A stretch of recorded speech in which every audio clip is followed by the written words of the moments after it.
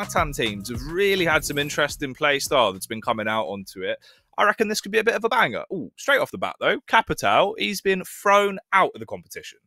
Big ban coming in on the Capitao. Again, it's one that we don't see too often, but it's not a surprise when we do see it, um, simply on the basis that Capitao is extremely strong, very versatile operator. Three speed, which surprises a lot of people. A lot of people forget about that factor for him for some reason. There's just a feel about him that he's not going to be that quick, but he certainly is. He's also got that smoke based utility along with the asphyxiating flame arrows, and he really does have a lot of strings to his bow. So, Capitao, he goes by the wayside and will be joined by Thatcher, which is pretty much a stalwart Latam band these days. Maestro, a little bit of an unusual one. We don't see too many Maestro bands, Jackie, and we don't see too much Maestro play, really. But Clubhouse is one of the locations, if you're going to see Maestro these days, tends to be up on that garage catwalk for CCTV. We've seen that a lot of times so far.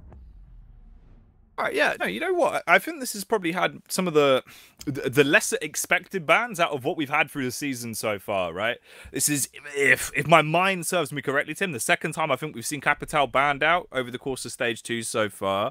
I know your stats will probably be able to, to either prove me wrong or back me up on that. The Maestro one, obviously, a little bit more of a sticky predicament, does make sense, but it also leaves in a lot of the opportunity for you to just rock out with either you know your, your Jaeger or your Wamai, which can completely deny that control for Garage anyway. I, I still feel like that's the better pick to move, and obviously both of them are going to be brought out on the two big gunners we were talking about, Scardina and Mighty. This sets them up early on to be able to display a lot of that fragging prowess. I'm liking it. So it does now. We've only seen one of these teams on Clubhouse so far, and that team is Santos.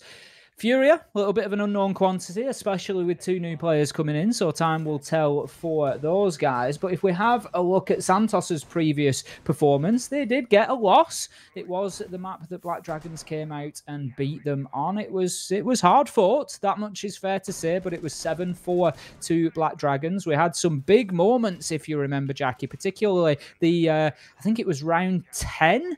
It was Lagonis getting the defuser down in a bit of an off-brand spot and right in a one versus two. Got it back to 1v1, then ran sort of full pace towards the default plant spot. Scratched his head for a minute when the defuser wasn't there, but then went and managed to get a successful challenge onto Lagonis. Won his one, got that defuser disabled, and won a big, big round for Santos. So they're certainly capable here they just need to show us a little bit more on defense, to be honest, than they did against Black Dragons. That's where they really struggled, Jackie. On attack, they had moderate success, 50 50 on CCTV cash. They won gym and bedroom.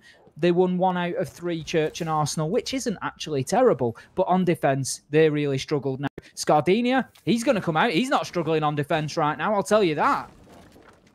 Oh, mate, a lovely opener from, of course, the man we were trying to give some limelight to, and he deserves it. He's a bit of a showman. He can definitely pack a punch when he needs to, and coming into the game early like that with a tasty little frag is a hell of a way to do it. Now, is it going to be consistent, though? Is this par for the course in our opening round of Clubhouse? Or will they be able to bite back? We've still got a lot of time on the clock, of course, as well. Two minutes and 11 seconds. Ace getting a little bit of play as well with those Selma breaching charges. Slap it on top, it will fall the whole way down and tell that hard breach wall to pieces in seconds. Very effective stuff. Fred could actually be quite effective at getting a bit of a pick back in their favour as well. Peers in through the window, Tim, being quite cheeky, in fact. Relatively rude. Don't go looking for other people's windows, but you won't get anything for it. Well, yeah, giving the old peek through the neighbour's window, it's never going to go down well, is it? But he gets away with it this time. Now, you can see that garage door is just being watched heavily there. Very, very cautious. Now, the attack from Furia so far, not too much progress, Jackie. They've got that east wall opened up, but they're a minute and a half into the round. There's absolutely no pressure being applied over on the construction side. We can see there's a bit of droning going on, but it is not disrupting the Roma over that side of things. And Santos, they're pretty happy as they are at the minute. They've got themselves locked into their positions and they're just holding fast now. Fred, he's trying to apply a little bit of pressure from the half roof there, just looking to play in through the east wall onto that cash wall. But Shots will be exchanged. None will land, and that's going to be Furia just wriggling away once again, still on full HP. Now, it looks like there's going to be a little bit of pressure from the server side window there, but again, the gridlock novice, all they can really do is get those Trax stingers out and just deny that movement. Now, they still have to clear out Garage Catwalk potentially here because that is a big risk. Ooh Risky play, and it will be served up with punishment. But Tim, there's a bit of a mistake in the detonation. Cyprus, the man might have a field day, but one of them is going to be a team kill. In the end, it won't matter too much because we get left into this scenario a one versus three. They've got a huge manpower advantage off the back of it, and they will still finish up the round. It was a small mistake in a sea of success. A lovely round coming out from Santos to kick us off, and actually a fairly clean one when you take it into consideration, Tim.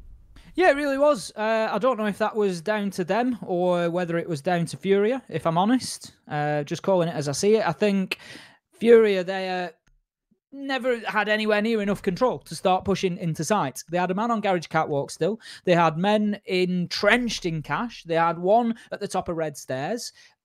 And just trying to put the Trax stingers and smoke canisters out and run into site and put the defuser down is probably leading in one direction, and we just saw exactly what that direction was. It was a nitro from Cyprus to shut down any plant attempt. He's going to take his men with him. He doesn't even mind. He's just putting that defuser down cold on the ground. And really, if you think about that site, Jackie, just picture it in your mind's eye for me. They were trying to play within a fraction of space that is available to them essentially. They were just trying to play in the small strips of CCTV that run either side of the servers. That's that was their entirety of control for Furia there. And it was just nowhere near enough. You can't push in to four and five defenders like that. You have to get a couple of kills. Realistically, if you're going to push into CCTV, you must be in control of Garage Catwalk. We've seen it countless times. You're just going to get gunned down, whether you put smokes out or not. It's going to be a one-way ticket to to a hiding. Now, Tim, I, I don't want to derail us immediately at the start of the show, but you said mind's eye. See, now, interestingly enough, Tim, I, I have aphantasia. I can't actually visualize at all. I, I can't see anything. I, I have no visual memory. Really, that's very interesting. I've never heard of that condition, Jackie, but that's that is actually very very fascinating. Yeah, yeah, it's the opposite of Phantasia, of course. So, um, of course. yeah, I think I think it's like one in forty. It's something like that. But yeah, I have no visual memory. It blew my mind because I remember obviously, you know, when people were like, "Oh, you count count sheep to go to bed," and I was like, "Count sheep? What does that even mean? Like, are you are you just uh, pretending that you're counting a sheep?" And they're like, "No, no, we can actually see sheep." Ridiculous. Very, very interesting. I'll bear that in mind, Jackie, and I will. Um, I'll avoid asking you to picture anything. Yeah, thank you. I'll paint a picture for you instead. It's quite offensive, actually, Tim. I'm, I'm a little bit. I feel attacked. I don't know why you've done this. You know this about me. We spoke about this off air. Oh, right then, Tim. Back on track. Yeah, we'll talk more about that later. Anyway, for uh, for the course of the round right now, not much has gone down.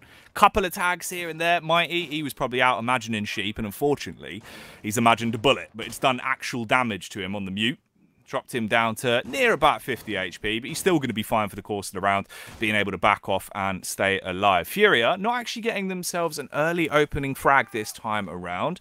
Nothing in the early game. Let's see if they can make up for it towards the end of the round. Gardenia looking to end lives, but he's suffering from success there. Dropped down to the ground from Lender, the Buck finishing him off, and they have now got themselves a pick with a minute and 15 seconds left a little bit of back and forth going on there between Lender and Scardenia. It was, of course, Scardenia in round one picking up the opener onto Lender. He comes in. Anything you can do, I can, I won't say do better, but he can certainly do the same. Picking up that opener onto Scardenia, giving Furia the advantage this time around. And it certainly seemed last time like they might need it because they just struggled to get the kills in the mid to late round and to get themselves over the line. Now, interestingly, Lender, he has been the best on entry so far for Furia Furia Cyprus, he's going to shut down Fred there with a nice little battle in the oil pit. And that's one that you might expect Fred to come away from. But Mighty, great nitro toss over the wall and into the kill box. Absolutely deletes Bursa from the round. But once again, those trades continue. And we find ourselves three versus three coming into the last 23 seconds. And we are going to see the Church and Arsenal bloodbath any second. Mighty Ooh. on the shotgun, completely shut down by Lender. Just manages to keep his distance so that he's out of range. Will be be closed down by wagon. This is the danger of allowing Blue Corridor to remain. But Highs, with a quick trade, allows Novice to get in and start getting that defender defuser down rather, but it's the defender shut down by Highs as he closes out the round. Round two going to Furia. I told you, Jackie, I called it in a tweet earlier today. This was a sleeper. Believe me, this is going all the way and it's going to be hard fought. Oh, it should do though. Both of these teams fairly evenly matched when it comes down to the head to head. They're close together. This is one of the games that I, I, think is definitely a telling story to try and prove just how far up into the standings you should be. For Santos, will they end on top of Furia? Will Furia be able to prove that they're better than them? That's why this game has so much weight to it. But to the viewers at home, Tim, it seems like they've already made up their minds. And we've got 80% of the vote going in favour of Furia. That's 136 people believing in them.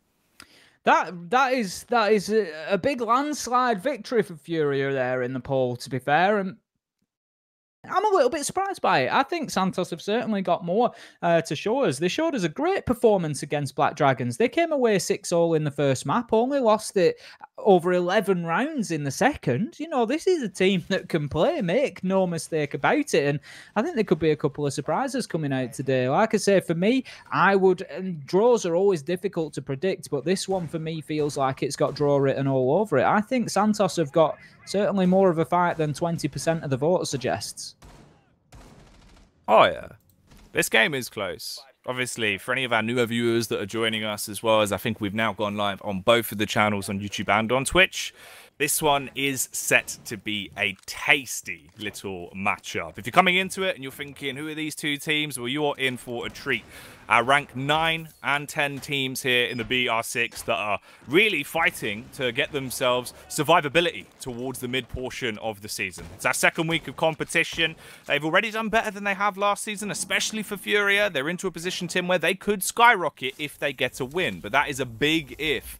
Santos are no pushovers. They've got a lot of talented players. Scardina already came out to start off the game with a nice little early frag. Mighty and Cyprus are the other two that I'm definitely going to be keeping my eyes on. And if we glance over to the side of Furia, it's Novice and Lender, the newcomers that both have really been going to new heights. They kicked it off amazingly back on week one. I think Novice really did lead the charge. He had seven frags in the space of two rounds. Can he try and mirror that today? He needs to if Furia want to pick themselves up some points tonight, Tim. Speaking of mirroring, it's quite interesting to note, Jackie, we've got a cheeky little double mirror strategy on the bathroom wall there. Now, that's not something that we see too much of anymore. When that was first sort of conceived a couple of years ago, when it first came about, it was big brain thinking, and then it seemed to sort of die off. People got used to just exactly how to deal with it. And generally speaking, what happens is you put two mirrors next to each other, as we can see. At the minute, they're both closed, but there is their option there to actually open one of those. Oh, there you go. So one gets open to prevent the wall being opened, and then you play behind the second one that is still solid, and essentially you can peek out of the one that's open. It's actually a really simplistic method of giving yourself a nice kill hole next to an established mirror without having to open up a soft wall and leave that wall soft. It's got potential, but obviously they need to stop the players getting in behind them. I do indeed. And so far, I mean, it's relatively worked out. This could work out even better as well as the Nitro goes casting out through the doorway. But it won't actually pick up the frag. It won't matter though, as Heist just peeks back in anyway faces the mirror and he will smash his lips clean off, dispatching him as soon as he got an opportunity to overwhelm the Maverick. Another round goes the way of Santos. Right now, relatively close. It's been a bit back and forth from the get-go. Santos definitely seeming like they are a little bit further ahead, though. It doesn't seem like maybe this is a level pegging instantly, especially with Furia starting off on the attack, Tim. This is where I would have thrown him a bone and said they would have come out with the opening rounds. They would have been netting themselves entry, especially uh, Novice. He would have been the one for me that I thought would have just walked out, rocked up, started living his movie, finding impact frag after impact frag. But it's not been that storyline yet. It's mostly been Santos dropping the ball in one round, but for the rest of it, just having clean sheets. Very interesting. Um, I think we've got the mute bug at the moment, so we're just going to be having a little um, rehost. I think you'll come back to us for a second while we're just have a look at getting that sorted out. We'll get it done as soon as possible. Sorry, a little bit confusing there for a second. Um, but you have come back into us. We will get back to this as soon as possible. Santos 2 1 ahead at the minute, doing well on defense, which is the big, the big sort of identifier of growth for Santos here, Jackie, because they only managed to win one round on defense against Black Dragons. So the fact that they are coming out, they've got two already, they've bettered that, they're showing us that they're good on defense. They're going to be confident coming into the attacking phase as well because they did well against Black Dragons. So why wouldn't they be? And it's interesting to see them bringing some different stuff to the table. I'm, you know, I'm sure there's people that might raise questions over the effectiveness of a double mirror strategy like that, but ultimately. Yeah I'm I've always been a big advocate for I don't care what teams do if it gets the job done. Simple as that. You know, I'm not going to criticize and say, well, that's not part of the meta. Should they really? At the end of the day, if it gets a round over the line, who cares? Nobody when you're looking back at the history books nobody when you're looking back at the score lines is worried about what strats were used in each round. You look at the score line santos have got the win. Simple as that. And whatever it takes to get it over the line and it certainly did the trick. It stopped them getting the bathroom wall open. They tried to apply the selma and it just made it very difficult in order to, to do that and push in. So they had to try and push in through the bedroom instead and they were shut down. Santos were completely ready for that being the case and closed them out of it. So great stuff from them well, it's one of those, isn't it? Where it's like, if it's stupid and it works, was it stupid? It's, Absolutely. You know, it, it, worked for them. It was a good execution, gave them a little bit of opportunity. And as a cheeky strat to throw into the mix as well, it's one of those that you can do as a one off. It also leaves them second guessing. It's now that bit of paranoia where they could be frustrated off the back of a play like that. That might actually creep over into the next time you match up again as well. Especially if you look at it, right? If we ever got into a position where they were in bracket play, it's one of those rounds that's just like, you remember that round on Clubhouse, boys? Do you, do you, really want to risk it? They've got a mirror. It's just not worth it, right? It's a little bit of a seed of doubt. And I suppose what we can as well do, Tim, whilst we just have a little bit of time whilst we're getting the lobby set back up. Obviously, for anyone that's a bit confused that was watching APAC, that's now ended up here with me and Tim. Hello, welcome. Me, me and Tim will look after you now. Welcome to our home. It's very loving. We love everyone here in the Latam House of Love, Tim. Very welcome in, Jackie. Everyone is welcome in Latam, absolutely. And as you say, we'll take good care of you. Don't you worry. Uh, but obviously, if you do also want to continue on watching the uh, the APAC stream, and you're like, hang on a minute, I, I, didn't mean to be in LATAM. Don't worry, still going on. That's going to be going on over on Rainbow Six Bravo. You can head on over there and catch it. We'll be, of course, mandating and taking over here on the A stream. We've uh, we've hi- we've hijacked it, Tim. It's ours now. We have there's people coming back from getting a coffee or a water, Jackie, and they're thinking, "What, what's gone on? I'm, where have Furia come from? I don't even know these teams, and they don't know what's going on. Going, Who's this bold guy? Dev and Geo look a bit different. What's what's happened here?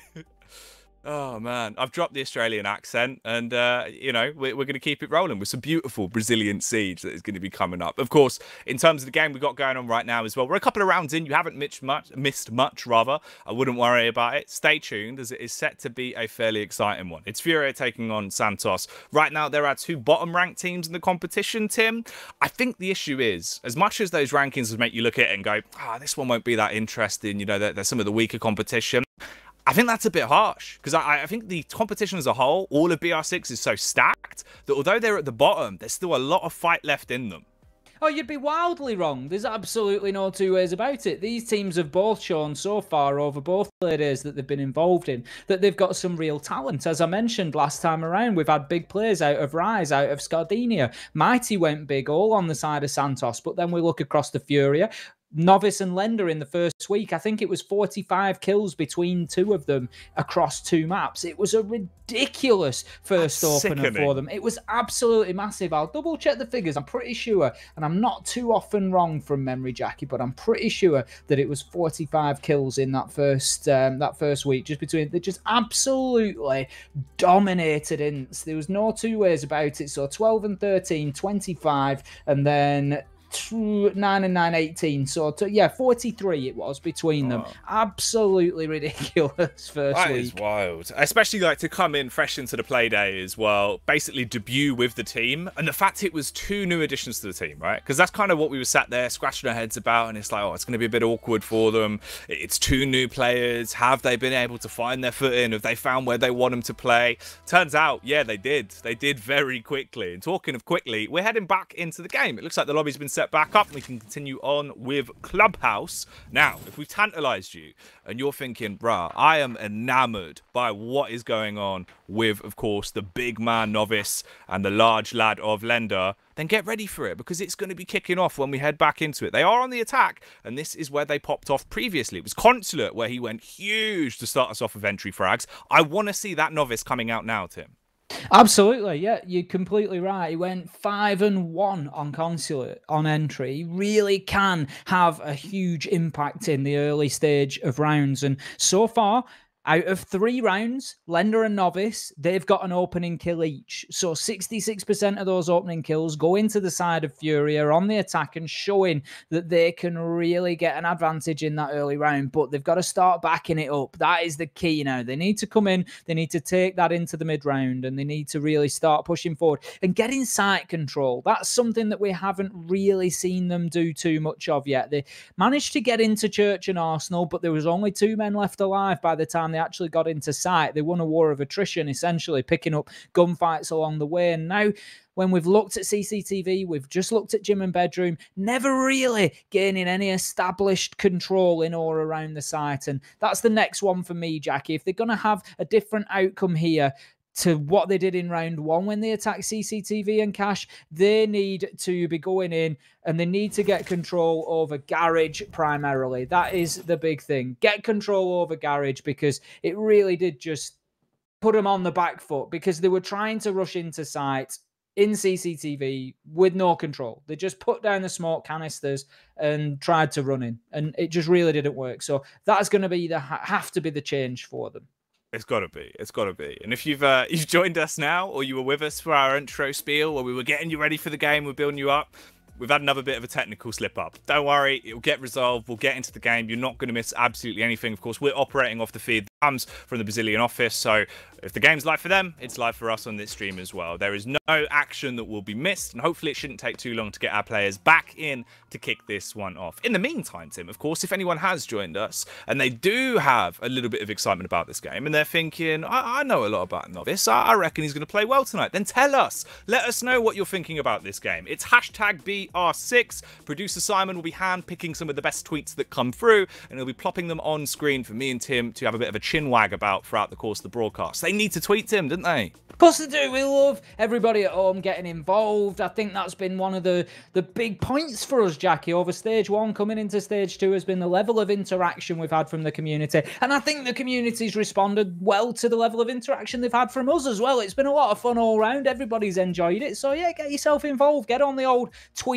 Send us some messages and we'll, we'll have a little look over them yeah, if you're just sat around near your PC, you know, get on Twitter, send in a tweet, and uh, we'll have a bit of a read throughout the broadcast. Of course, we are just waiting for this one to kick off. Hopefully, it take it shouldn't take too long, really, and then it'll be getting underway. In the meantime, we are subduing you to uh, just mine and Tim's faces and our general argy bargy for a little bit, but it'll be well worth it when it's Tim. Always is. Always is, Jackie. I mean, I won't make a comment on the faces. I'll leave that for the viewers at home to decide whether they're worthwhile or not. But uh, the RG Barge is always worth sticking around for. Oh, it's certainly golden. It, it, really is. See, the thing is, right, at this point, I wasn't prepared. I didn't have the riddle sheet open. I wasn't ready for us to have a rehost immediately. Not two of them back to back, Tim. It's thrown me off. I can imagine that it would do, Jackie. You see, this is it. People don't always realise how much goes into these broadcasts. You know, there's documents to be opened. You've got to look into a camera, speak. There's all sorts going on. So that's the funny thing, right? You know, like obviously a couple of days ago when everyone was just tweeting like their caster sheets, uh, Jess put hers out, Geo is getting involved. I was sat there and I was looking at mine, and it's just 70 riddles in, in block form, one after the other. And then there's a separate tab just called animals that just has loads of different facts. Not a single team name in sight. I love it. but you know, I've, I've got to have it, Tim. That, that's why we work so well. You always bring the stats. You're always on the ball with absolutely everything. I know your master sheet contains everything that's happened in every round. Where a player sneezed, where they got a frag, it's all there. That's why I come in just with stats about warthogs and you know what kookaburras. Perfect balance, Jackie. Just as all things should be. Oh man. Well, hopefully this game will balance us out. Producer Simon's asking me if I want to live a riddle. I, if you have one, Simon, I've I've not got my sheet up. Hang on. You're gonna have to give me a second here to prepare prepare the riddle sheet. Let me, let me get my Google Docs up. You get your Google Docs. I know in my spreadsheet, Jackie, there's just a tab at the bottom of it that just says meaning of life. I've not dared click on it yet, um, but that's how comprehensive the spreadsheet is at this point in time. Does it just say 42? Just yeah, that's all that's in there. except it's a, except it's a circular function that's actually been allowed by the sheet that comes oh. back to 42.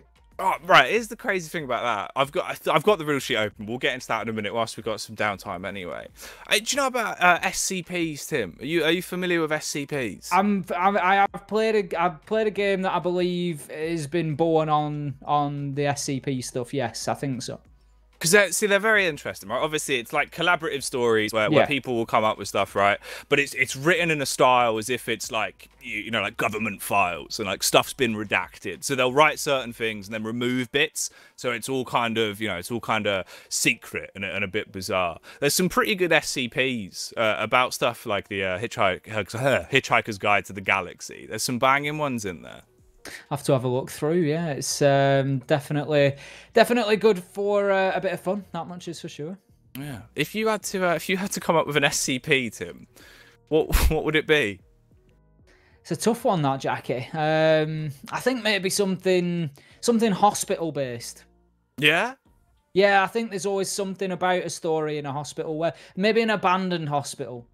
Just a bit eerie. Yeah, I think there's always something about that atmosphere. I think you redact a few things from there and your imagination starts filling in details of what's gone on. That's that can get serious.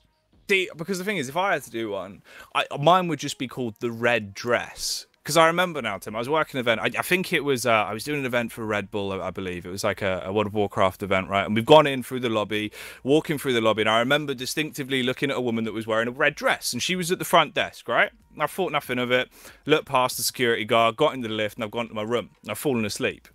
Now, I've woke up in the middle of the night, Tim. Standing over me in a red dress was what appeared to be some kind of, of demon esque woman just screaming in my face. And I, I panicked and bolted out of the bed, woke up, looked around. It's been 10 minutes. I've had a nap. And uh, obviously, was it a dream, Tim? That's was the question. well, that's the question. You've just got a, a, a, well pre-made SCP right there, haven't you? Essentially, your brain's written it for yourself. But um, yeah, a bit of a scary one. That I bet. I bet that's put you off red dresses. Uh, yeah, well, that's else. the thing. I, I'm now terrified of hotels and red dresses, and also ten minutes. I'm just scared of ten minute segments. I don't like sleeping for for any shorter or longer than ten minutes. I can only sleep in eight minute intervals. That must be exhausting, Jack. it, it, really is. It really is. But uh, anyway, welcome. I can everyone. imagine your alarm screen on your phone. Just oh, with mate. eight minute intervals, just like 78 eight minute intervals. It's, genuinely, it's a nightmare. You know, you have to go through the the Alexa's going off every five minutes. It's bizarre. It, it, really does throw you off. Well, every eight minutes, technically, it is an absolute nightmare. Uh, I think it's been about eight minutes since we started this segue. And hello, everyone that's joined us. If you're thinking we were watching some Siege, now there's some guy with a beard and a bald man talking about all sorts of madness don't worry, we, we do have some siege related content to get into. If you'd like to see some of it, Tim, we could probably give them a little tasty treat, of course, as we've still been working hard on the A to Z of Siege, haven't we? Always working hard, Jackie. We're always working hard to bring that content. We want to make everybody welcome. We do indeed. If you're unfamiliar with it, take a look at this bad boy and get acquainted with the A to Z of Siege. M is for map pool. And when we talk about map pools, there are two different map pools that we really refer to. There is, of course, the competitive map pool, which is all seven maps that the teams have available to choose from. But more often than not, when we talk about a map pool, we're talking about a team's individual map pool. And when we do this, we're talking about the maps that that team likes to play. Generally speaking, teams will have maps that they will try and avoid, that they will ban out in most matchups. And Therefore, that map would not be included in what we would refer to as their map pool. So, the better teams will generally have bigger map pools and be capable of playing on a larger variety of the active maps. There you go, the to Z of Siege, one of the lovely little new additions that, of course, we've been trying to get added to the course of the show. So there's some nice content for that downtime and something that also gives a bit more of a level playing field across the entire community, Tim. Well, that's it. You know, quite often you'll get new people pop into the stream, I'm sure, and they look and they, they hear us going wild in the middle of a round and they think, what is he going on about? What is going on here? And so we always try to cover that off. We know that we've got loads of you watch tons and tons of Siege, and you know what's going on, but we also know that you want more and more people in the chat as well, and that you're all welcoming guys and girls. So we like to try and cater for those new people and just throw out a little bit of information. And if nothing else, you get some cool highlights. So win win. Exactly. You still get to see some Siege gameplay, normally throwing in some of the better plays throughout the course of the time, of course. Tim's been hard at work, scouring through, getting all the uh, necessary clips for those bad boys, and it has paid off. And waiting has paid off as well. It looks like the game has just gone live, and we can head back into Clubhouse, the continuation of this series. Uh, again, guys, sorry for the downtime. Of course, we did have a little bit of a sound bug. We were getting that resolved. Seems like everything has been fixed. Fingers crossed, him. Touch on wood. We are live. We are live. Jack, cast the start game. Please, Tim, start the game. Please. What are you doing? We're coming back in. We're in round five. So, unfortunately, we have missed a round along the way. I think the one um, that we crashed out of has been finished off. We can see that that win has gone to Furia. So, it remains very, very close. So, that's pretty good because it leaves us coming in at a level playing field. We've not sort of missed anything. We've not missed the team taking the lead there. We're almost coming in um, with a fresh start at that point. So, like we say, hopefully, we'll stick with this right the way through now. Round five, we're going to be heading down to Church. And Arsenal. And so far, nobody able to gather any momentum. Santos have taken round one and three, which is CCTV and Gym. So they've taken the top floor sites each time. And then uh, Furia have come in. They've took round two, which was in Church and Arsenal, and round four, which was in CCTV. So their first upstairs win there in round number four. Now, of the teams we've said they could well be facing off in a relegation battle come the end of things here. So these uh, these games against each other are particularly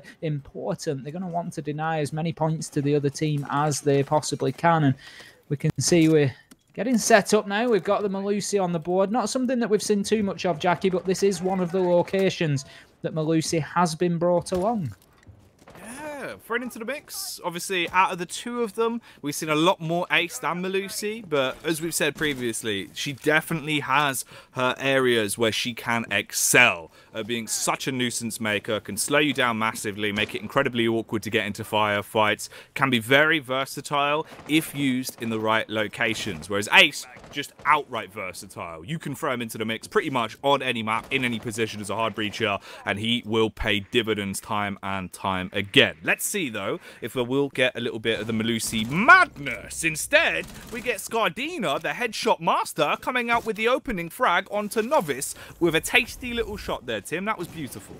It's been an absolute battle between these guys. We've had Scardini and Novice and Lender completely showing down with each other about who is going to pick up those opening kills. And this time it's Scardini that comes away with it. He's going to get that kill onto the Ash taken off the board there. So that is the entry gone by the wayside and we can see this top floor roam is having some good impact this time around. A minute and a half still on the clock and yet to even move Scardinia out of gym. So Furia they certainly need to get moving here and they need to up the aggression and Santos are playing this perfectly as Furia start to push into side or onto the top floor rather as they start to push through there they just drop back a little bit further each time and soak up that pressure. Now, Highs will eventually shut down Scardinia, but look at the counter there. That is not the end of the world losing the two roamers with only a minute left on the clock, especially when Cyprus is up there still making a nuisance of himself. We find ourselves now three versus two in favour of Furia, but the Santos defenders, they just need to lock out another 50 seconds here, and there is still a lot of work for Furia to do. They don't have any access to the site as of yet. A lot of groundwork, a lot of labour left in this round. If they want to be able to claw this one back and pick it up. 35 seconds remain. Three versus two. Wag and Rise as the last two remaining defenders into this round. We've got Bursa, Fred, and Lender as the three musketeers. The triple threat that will be looking to threaten the livelihood of Santos relatively soon. Bursa coming into play. Selma device will rip the top off the hatch. He'll be able to push his way down, but is stalled, held at bay by the smoke play of Rise. Dashing out the Sanguine Arsenic and then pulling out the Shotty, waiting for close contact. Tim, they've got seven seconds to make this work. They have to do something soon. Impacts being cast out to slow them down. Wag going for the peek, and he finds the first, slaying the initial man as Bread gets broken in two, and they can't do anything about it. Knocked off the defuser, no chance for the round. Santos are left as losers. Great plays from Santos there. As I said, losing three up on the top floor. You could initially have looked at that and thought, mm, that could be a big loss on the Mankind. But given that they were down to 50 seconds at that point with absolutely no access to site for Furia, it basically just took them too long. And that is that's everything that that hold is about, Jackie. So we call it the SSG strat. Most people will be familiar with it or will have seen it before. You take the Mute and the Moze, you play them up on the top floor. In this case, with Cyprus on the Jaeger as well, they had three up there. Even though it's a basement objective. And you might look at that and say, why exactly are they doing that? But the reality is that they are burning time because those roamers cannot be ignored. We've seen it. And the reason that they can't be ignored is because a lot of mid level control, so in and around bar and stock, kitchen, that ground floor level, a lot of control of that is required when assaulting onto Church and Arsenal. There's hatches that you want to play, there's angles that you want to hold vertically to allow you to get in and take that final execution onto site. So because you have to play in those areas, you can't ignore the top floor because as we see, cash floor CCTV floor, bedroom floor, gym floor, all destructible. The floor at the bottom there in logistics, down into kitchen, destructible. So if you leave those roamers up on the top floor, they're just going to pick you apart. So you have to go in and clear them out. And that was played absolutely brilliantly by Santos there. Burnt two minutes, took two bodies with them, and Furia, they just had far too much to do and not enough time. Yeah, it's so hard to get back into a round like that at that point. Also, a lot of it comes down to the start of the round again for me, right? You look at the intro to that one, just getting your head ripped off on a man like Novice that's on screen now, that's going to hold you back so much. We need to see him finding impact frags, finding entry frags, and winning those opening duels. So far, he's not really had an opportunity to. Of course, if you're looking at the stats, it's not really going to give you the true story because we did have a rehost into this one, so it has, of course, removed what had already been built up. But Novice, he's not exactly had the uh, spectacular performance that he had back on Playday 1 just yet. It is early doors. We're only coming up towards the last round of the first half, but that is the last round where he has an opportunity to be on the attack to pose a threat, Tim. And I'm worried. If he doesn't show up here, get the team a little bit of leeway, bring it back to potentially a 3-3 split at the half, I think they haven't done themselves justice. Well, he needs that bit of confidence under his belt as well, doesn't he? You know, coming in there, as you say, to a defensive half where generally we see better performances on attack. You need a few kills there. You need to have some of those some of those aggressive moments where you can feel like, right, I'm on top of things here going into that defensive phase because otherwise it could be a bit of a big ask, a bit of a, a tough showing on defence. And right now we can see some tight angles being held. We can see the double mirror strat has not been utilised this time around either. The Maverick it will be to try and clear this hard reinforcement. So basically by cutting across top and bottom, they can get it to drop off the wall and then soft breach open um, what is left of the wall. Novice will open us up with things. As we said, he needed those kills before moving on to the defence. Gets the opener onto Rise, and that could be big. We've just seen important players coming out of the smoke previously. Could be pivotal. I was hoping that the play from Mighty would be a pivotal attack as well, but the issue is that C4 relatively sticky with the double-sided tape. It gets stuck on the ceiling, and it won't reach him to new heights in the round. Instead, he peeks, going for a bit of a risky play to try and make up for it, gets slaughtered, leaves his team in a far worse position. Now they're down to three operators left on Santos. 45 seconds on the clock, of course. Furia, you need to speed it up a little bit, but that is a speedy way to engage. Novice on the peek finds Wag bounding around, looking like Bambi as he gets shot in the back of the head. Cyprus trading onto Fred, but as he peeks past the doorway, it will be his demise that he spots. Scardina from the stairs to straight into the brick wall, smashes his face as his jaw has been shattered by highs on the Maverick Tim. The last round going over to Furious. They do bring it back. They keep it close at the half, and this one is wrapped up in a neat little package, free to free. Much more decisive round from Furia there, getting in, opening things up with a couple of early round kills. As you say, Mighty just unfortunate with that Nitro toss. I think if it doesn't stick to the wall and maybe nets him a kill or two, then we may be looking at a slightly different round. But Furia certainly had that one on lock for the majority. They got the men circled, put pressure from all angles, and made it very, very difficult for Santos to move around in any way, shape, or form. So now that we've headed over the halfway mark, it's course, a best of 12 map. So one team will defend consistently for six rounds and then switch and attack for six rounds. So that is exactly what has happened. And Santos moves on to the attack now. They're going to see exactly how they can crack the nut of these defensive sites, how well they can get in, get control, and try to get that defuser down and active on the ground. Okay. An important round, of course, for either one of these two teams, as it was straight down the middle in our opening half. Also, there's a bit more consistency, right, Tim, coming into this, because we did have the rehost. It definitely slowed down the game a bit.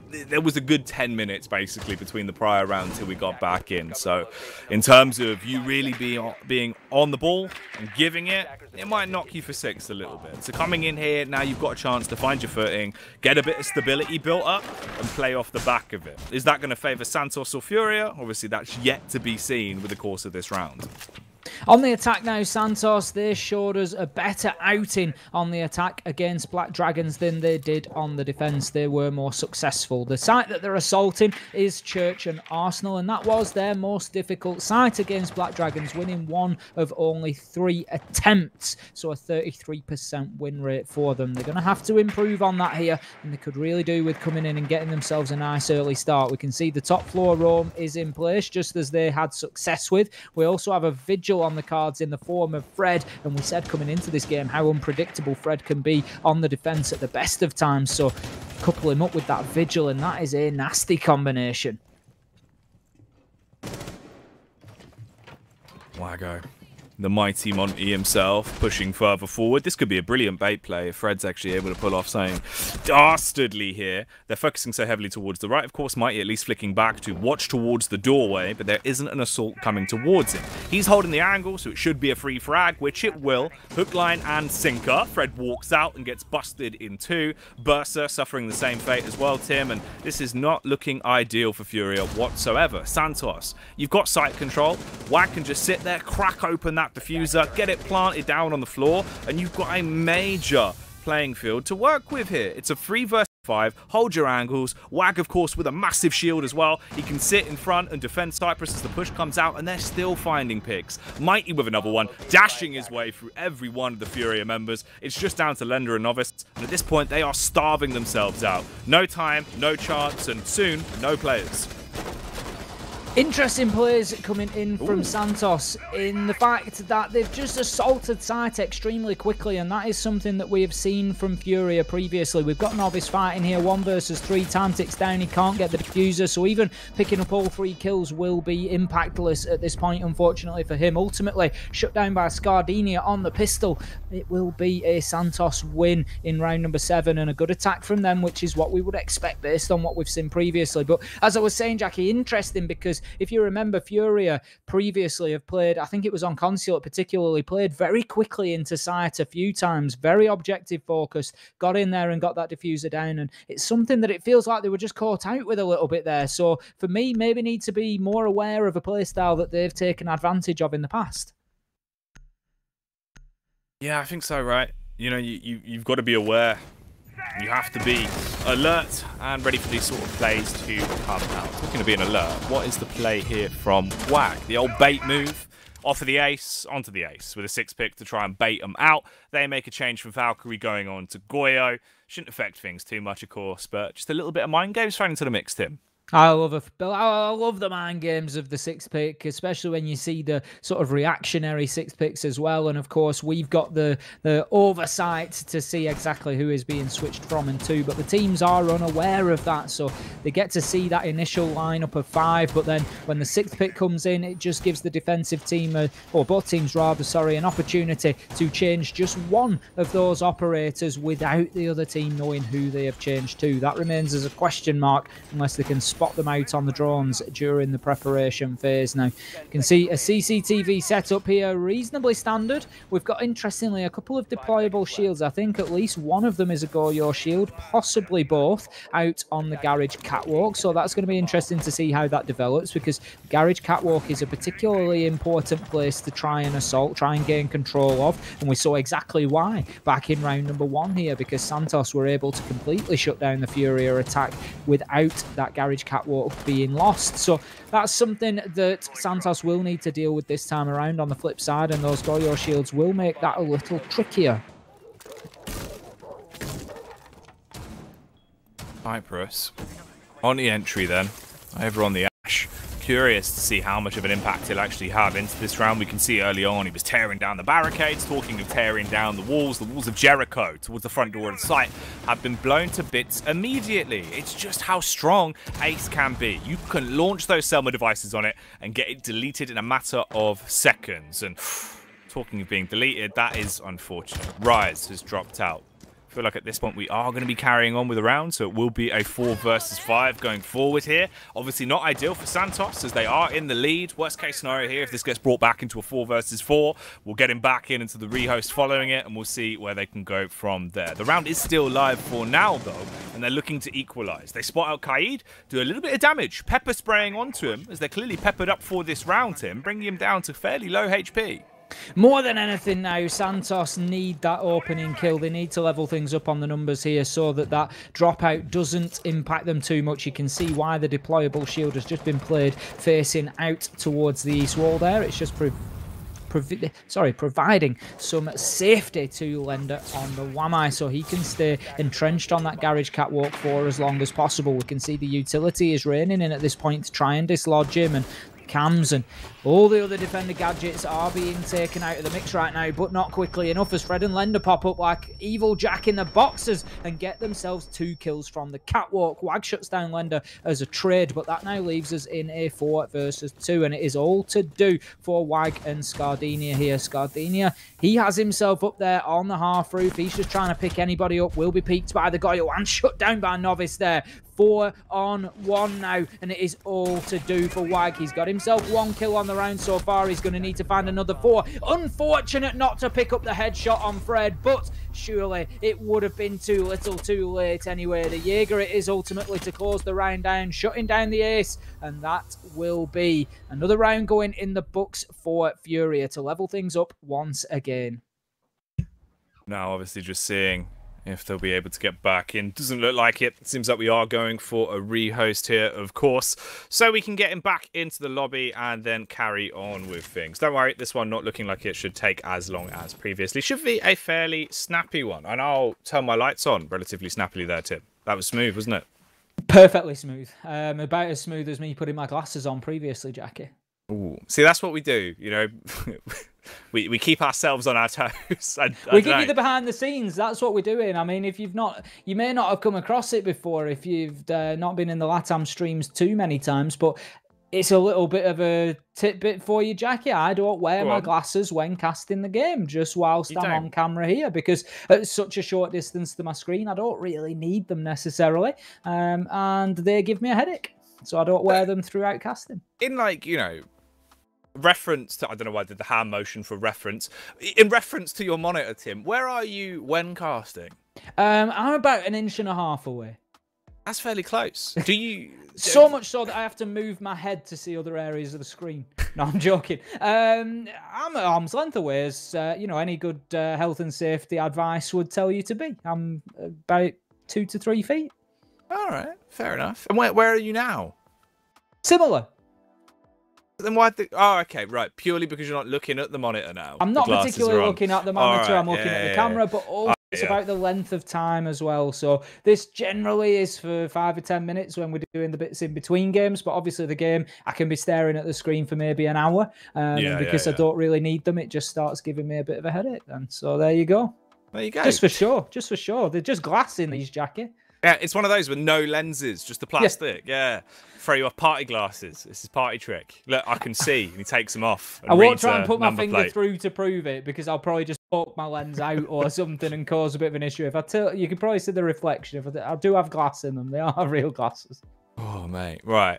Tim, it's looking like we're getting players back in fairly sharpish with this one. Doesn't seem like it should take too long. I have actually prepared you a little riddle, but we'll keep it for later on. Now, of course, if anyone's joining us and they're a bit confused about the riddles as well, you can get involved with those over He keeps going on about riddles. riddles. Who is he? Why, why is there a sheet that says Ace's riddle answers? He just keeps going on about them. I don't know what he's on about with it. We have some riddles for the re-hosts. It's a lot of fun. It's a whole thing. It is, and we've been doing it for a while now. If you if you're unacquainted, get acquainted. We'll probably do one next time there's a rehost. As this doesn't seem like it should really take too long. We've nearly got all ten players back in the lobby. So if you're like, damn, not another rehost, don't worry. It really shouldn't be that much longer, and then we'll get back into this because the game was actually starting to heat up a little bit as well, Tim. It seemed like they were really getting into groove of things. It's an unfortunate round to drop out on as well. Obviously, to lose a man in that manner, it does knock you for six a bit, but it seems like they're contending with it fairly well.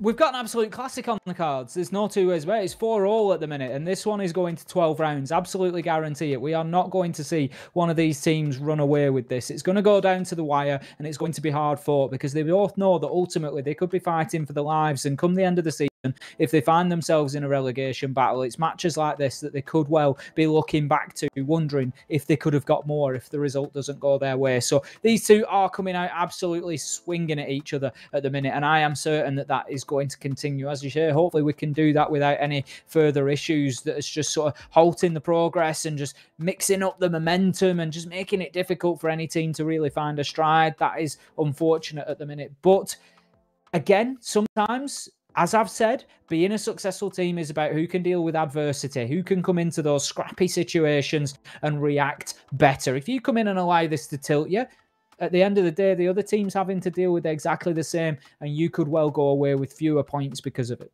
Yeah, you've got to keep your mental fortitude strong the entire way through, right? It's the nature of online, obviously, Siege at this point. There is going to be issues. It's, it's unavoidable, Tim, unfortunately, until we get back into an environment where we can obviously things a lot mm. easier, lot easier when we are back on land. Hopefully, in the future. Obviously, for now though, it, it is what it is. Obviously, contending with it is part of the game at this point in pro play. If you don't have the mental fortitude to be able to roll with the punches, get back in, and try and keep off where you left off, you are going to drop off. We've definitely seen it plague some teams in the past. Back over the course of stage one, there was a couple of moments where it seemed to knock teams' momentum. For this one, it's been so back and forth already, where it has looked very evenly matched, which is kind of what we expected. And the dropouts have been on either side. It doesn't feel like it really favors or negates anyone.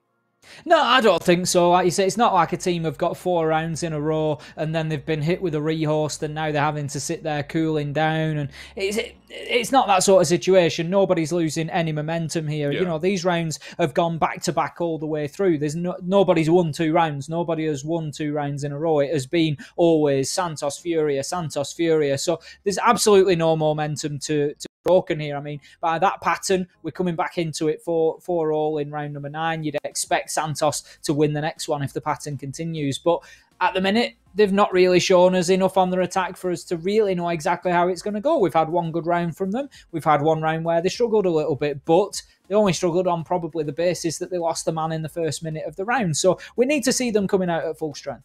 We do, we do indeed. And luckily for me and you, Tim, it looks like we can jump off the struggle bus start getting back to viewing a spectacular game of Siege. As I can see all 10 players now back in the lobby. So hopefully we should be kicking this one off relatively soon and continuing on here with Furia Santos. Now, coming into the game, it was overwhelmingly positively in support of Furia, right? We had 80% of the vote that thought Furia were going to take this. I wonder what they're thinking now, Tim, as we continue on with this with a scoreline going into it that does favour Santos.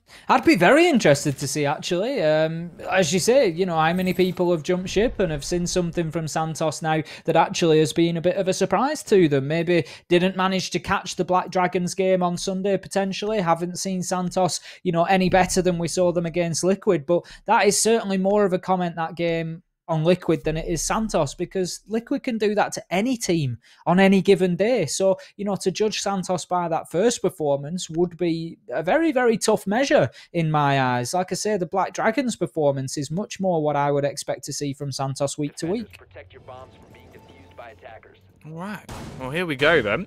We are live. We are back in the game. All looks glorious so far. So hopefully we can maintain this momentum. Obviously, scoreline wise, it's right down the middle, right? It's neck and neck. Basically, this has been the story for the entire game as well. As you said yourself, Tim, Santos will get around. Fury will bite back. Santos will bite back.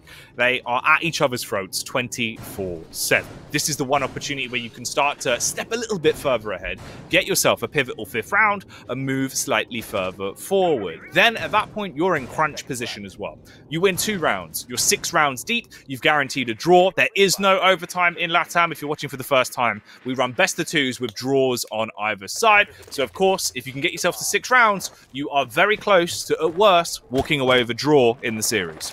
That's absolutely it. And the way the points are awarded are across the the result for both maps essentially. So it's not that you get points for map one and points for map two. It's depending on what happens in both. So two wins will get you three points. A win and a draw will get you two points. A win and a loss or two draws will get you one point. And a draw and a loss or two losses will see you get zero. Zip nada for that game. So it is very, very important for these teams in the first map to try and get themselves that advantage because if you get the win in the first map, you're guaranteed at least a point overall. You know that you're putting something on the board. And then if you can come away and keep yourself on top in that second map, you can strive for that two, that three points even, if you can get the win on both. But right now, some very quick progress for Santos here. I'm not sure exactly um, what Fury have chosen. I think they've negated the top floor roam. They've not worried about that top floor this time around. They're playing all five down on site. That's going to allow Santos Santos to just get in very quickly, and they have done so. They've shown that they're using those drones, good comms, good teamwork, just to call out and find all five of those defenders, know that there's no threat upstairs, and they can move in and start getting those hatches immediately. One minute and 30 seconds remain on the round. All 10 players' vital signs are looking lovely.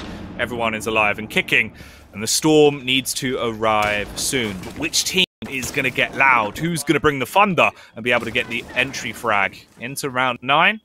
Only time will tell. Santos looking to make use of the vertical play here, Tim. Obviously, Buck with that skeleton key, tearing apart the floorboards, ripping the drywall open, tearing down the plasterboard, and giving himself a clear angle to peer in. And here's a clear-cut move coming round from Rise as well, baiting out the peek from Novice, as he'll have to overextend to get the reconnaissance to see if he's fallen back. He'll link up with the rest of the team, and it seems like they're going for pretty much a full execution now onto the site. They need to hit their shots, and they need to be handy with their steel if they want to earn their keep into this round. We nearly had close contact there. I think it was Bread that went for the wide swing, Fred rather.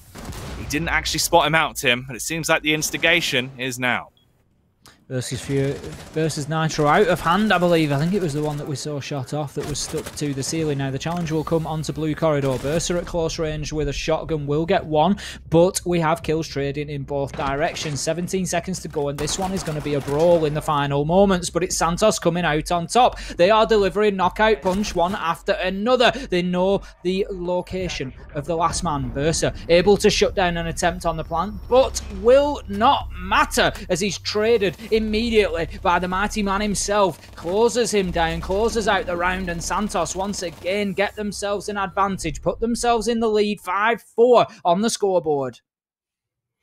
There we go, Santos contending with a tempo that was broken. Of course, they lost out on Rise in the prior round. He got back in and they kept on trucking. And that is huge as well. Winning that fifth round does an awful lot for you. You're now one round away from six, where you will have a guaranteed draw in the books. If you get yourself a seventh, at that point, you have done it. And you can walk away with your heads held high with a lovely first map victory heading into Villa, which will be our second map in the series. We won't get ahead of ourselves. We'll keep it locked with this for now, and we'll see at least if there is more fight in Furia.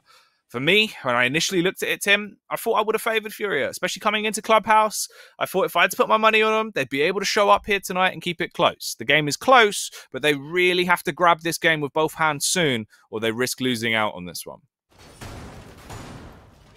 It's now or never, as you say. They need to make sure that they come in here and get themselves a result in round number 10. Otherwise, Santos will be guaranteed a draw. But I think also the momentum that that gains them could well push Furia dangerously close to the brink in terms of losing this one now. I like what I see from Furia on this defence, given that they were going in a turtle fashion. They show good sense to know that Dirt Tunnel may be a location for a push. And we saw the Maverick just opening up the wall very quietly and Rise just trying to sneak his way on in. And it can be a great play. There's a real potential for a backstab there, whilst the defenders are completely unaware of it. But cleverly, they've got a Melusi Banshee out there in the dirt tunnel, and they are paying it the full respect that it is due because that dirt tunnel, let me tell you, that has been the undoing of many good defences here on the Church and Arsenal site.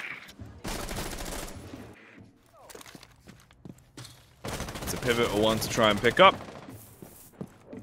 We shall see if Santos can win it, if they'll find success. A lot of spam coming out from Cyprus, it seems, the other side of the map, as we flip back to his POV. Obviously roaming in with support. A bit of a triple threat. There's three of them in close proximity, so if they do get overwhelmed, we're looking at at least a trade. Now, talking of trades, Rise, very handy with his hands, as he will be getting to grips with that hatch and burning it to pieces with a blowtorch, of course. Dropping it off so they have that point of access down towards the site when they want it for the late round execution. Santos, will they be changing the tempo? So far, it seems like they are sticking to their guns. A slightly slower style of play where they'll open up those access points to really keep Furia guessing and then commit later on once you've got the vertical angles to try and find your entry frag. I love the vertical angles here on Clubhouse that you can get in and around bar. They're really fascinating because quite often you find with vertical angles it's one room just directly above another and that's where you're playing in from. But it's much more difficult to predict sometimes where the shots are coming from here. You do have kitchen but then you look you move out into the corridor. You can move all the way back into bar. If you shoot out the soft wall that is in between bar and the corridor it again affords you a completely different angle down into arsenal and there is a huge variety of them. Now you can see the Jaeger of Lender. He's just absolutely locked solid into the blue corridor. He's got his ADS devices, and he is not going to peek this for love nor money, I wouldn't expect. He's just going to hold a tight angle onto the hatch there in case there's any potential for dropping a bit of utility down on top of him. He might just pick himself up a cheap kill there, but he's going to be very aware of the stairs. He doesn't want to expose himself to an angle there, and out comes the frag grenades there, just raining in, but again, Furia playing smart and not having anybody in the splash zone. But Cyprus, he just walks right into sight and takes the head off Versa. Five versus four. Can he find himself a second? He's looking to blue. He knows there should be a man there. Fred gets the kill onto Mighty to level things up. Scardinia directly trades it, and that finds us four versus three. But once again, just like the game, going backwards and forwards, kills to either team, both directions. We find ourselves three versus three. But Wag, where are you on the Monty? Where are you? You need to push into site here and think about getting this defuser down. 13 seconds left to go. Two successful kills for Santos. Three versus one now. It's all down to highs. The defuser is going down on the ground. The Monty, he's got the shield on his back. He's not going to be shut down before this is activated. There it goes. The first man that he sees will be his undoing. Cyprus shuts down highs from across the site. And that is going to be another round to Santos. Guaranteed draw and the advantage that they needed on Clubhouse. There we go. Santos starting to crack the whip as they're finally finding their form, coming into the game now, looking a lot more dominant. You've guaranteed the draw. That's done. That's already put into the shopping bag and has been taken to the till Tim. But before they check out, they've second guessed themselves. They thought, nah, you know what? We don't just want the draw. We want the win. And they have a good opportunity to grab it. But they have to keep their consistency. You got a bit of a buffer. You can afford to drop one round here or there, but that is it. Other than that, you need to really double down now, find a follow up round, and walk away with this one. Put it to bed now whilst you're on your attack. And Santos is definitely doable for them. Cyprus has been playing well. Fresh off the back of the rehost, he's coming in, toting four frags already. Mighty as well has been very effective at opening up those angles for them, Tim, and then backing it up with follow-up frags. He's not just good for the manual labour, he is good to do a brilliant Dexter impression as well. Wag coming in on the Monty here for the top floor is an interesting choice, and it's one that doesn't surprise me too much. Last time around, if you remember, we saw Garage Catwalk giving them some real trouble um, on the attack here. We had Lender playing up there on the Wamai. He's got Novice just deploying a Goyo shield for him there. He's also got a deployable shield that he will likely play on the Catwalk as well if it isn't already out there. He will put it, and it just basically covers him from both directions. Now, there we go. Out goes the second deployable. Now, Interesting early peek coming in here. Big aggression coming out from Fred there. We've come to expect nothing less from him, but he will be unsuccessful. But if nothing else, it just sends a message as to exactly how Furia are playing this one. They are backs to the wall and they know it. And look at this. How aggressive is Fred being right up in the faces? Now, I think a Claymore has been put down outside of that garage door. So Fred, he needs to just keep himself cool. Otherwise, he's not going to be in this fight for much longer. Look at the setup as well. The vertical rappel on the rope. Looking to find any nook and cranny. A spot of skin, a little bit of How's Your Father where they can open up an angle and potentially get that early entry frag. It's the critical position to play from. right now, they're not really getting much from it. They're waiting out until it does pay itself off. Cyprus getting a bit aggressive as well, charges up the breaching round, opens up that softer wall, They've got players on cams. They've got a good read. They know exactly where they are and have a fairly tight inkling of what is going down into this round. Issue is, I'll tell you who's going down. Cyprus from a substantial distance. A long shot from Novice. He is not a novice when it comes to punishing from a distance. Lender comes out and shows as well. He can step up when he needs to with the AUG towards Garage. And this is getting rough now for Santos, Tim. The likelihood of them winning this one has dropped massively. They're going to have to give it to them raw. No trivia if they want to pick this up. Great start for Furia in the round 5. 3 is the advantage they currently stand at on the man count, and they are heading into the last 1 minute 15 seconds. So things are going to be tough for Santos here. The next couple of kills are particularly important for them as a team because they have to go in their direction. If not, they're going to find themselves in an almost impossible situation right now. It looks like they're trying to mix things up a little bit and just trying to push from the construction and bedroom site instead. Now we will see the door being open. Scardini taking huge shots there, but ultimately Rise will be able to shut Novice down on the Goyo 3 versus 4, and that makes things just seem a little bit more possible for Santos here, but Lender, he doesn't help their situation one bit with a headshot onto Mighty. Rise, however, manages to walk into sight. We've seen him be able to win out in these difficult, uh, disadvantaged situations previously. Oh. What a move he goes to get onto the back of the Kaid, but will be unable to secure the kill. Bursa simply downed. He tries to move move on, and that is unfortunate. I can see a different timeline there where Rise goes absolutely atomic for them, but that wasn't the case, and ultimately, Furia, they close out the round and send us all the way to 12, just as promised. That's so rough. Yeah, I, I, completely agree. The position he was in, that could have been a ginormous power play. He quite literally had barrels of impact frags tied to him they got cut off and they rolled away instead of their chance into the round. Really unlucky. Gets the down, of course. Tried to go for the flick around. That could have been a 2K. At that point, you're left in a huge scenario. A one versus two with another player that's down but not outstay. He runs the risk of trying to get him up. You swing, you kill him. You play off each other's contact, you kill him. It would have been easy pickings. Great hero play. Unfortunately, it just didn't come to true in the execution. Six to five now, Tim. And this is where it gets risky, right? That was your one mistake. That was your throwaway round. And that is gone. It has been thrown away. You cannot afford to make another mistake for Santos. Your only opportunity to win this opening map is to win it now and here coming into the final round of the game. For Furia, a draw is on the cards. It's definitely a possibility. It's on the table. You just have to grab it and prove that you want it. They were hitting their shots since that prior round. There's a fighting chance. And this is going down to exactly what we said at the start, Tim. A level playing field between both of them. Fury and Santos, they look neck and neck when it comes to their skill ceiling right now. Heading back to Church and Arsenal then. This is an attacking site that we saw Santos struggle with. Sorry, no, Fury struggle to defend, struggle to hold Santos at bay. And that is going to make it very difficult for them to close out a draw here because Furia, they've shown a good mastery. They managed to get in and get those kills. Now, we have got the mute on the board. We've also got what looks like an aggressive play coming out here from Fred on the Wamai. He is desperate for one of them spawn peeks. And you can see that we've got Furia men all around the map. And that's not too much of a surprise because previously, the last two rounds that they've lost on this site, they have tried to go for the turtle hold. And it really hasn't worked out for them. They have lost them pretty easily to Santos. So they're trying to make a nuisance of themselves. To, the, to them, it's basically we might as well throw everything at this one and see what we can get because if we don't, we lose it anyway. So they really are coming out fighting hard. Fighting two for now into this one. Ooh, novice. It almost felt as if he was going to be screaming that Rise has to hold onto his fillings in that encounter because he was ready to smash his jaw clean off, but he doesn't go for the overextension. Novice retreats back around, and now the limelight gets flicked onto this man, Scardina, in the elevated angle, playing on top of the hatch.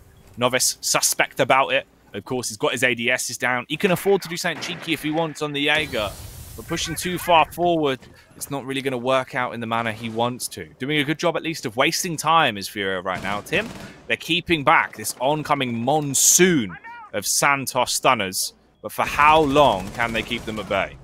Now very aware of the pressure coming in from the dirt tunnel there. Lender opens things up with one onto Mighty, but meanwhile we also see Novice downed on the Jaeger. There will be no opportunity, I don't think, to pick him up because the pressure is mounting into site. That is a bad throw on the nade there. If that goes into Moto, that is a potential free kill. Cyprus, however, does manage to clean up Novice, and Scardinia gets a great shot through the soft wall onto Lender there. That now leaves us in a four versus three, and the man count here just goes back and forward as Bursa gets himself a kill, but immediately traded once again. We can see the Monty of Wag just providing a real nightmare for Highs there as he's just pushing him round, bullying him on the side. And Highs just dances left, right, centre, trying to get anything he can, but he'll get absolutely nothing as Scardinia comes in, closes things out for Santos, and that is going to be the map. It went all the way to the wire, but they were able to shut it down 7 5. They've done it in the end, they were able to find themselves victory in the dying moments of the game there on Clubhouse. They pick it up. Perfect play, being a bit of a nuisance maker with the shield. And I think that's the story of the game, Tim. All of the Monty plays we saw throughout this one were really, really lucrative. They did so much. We found two rounds that were guaranteed to Santos there just off the back of Major Monty rocking up. Absolutely, it was it was hard fought. It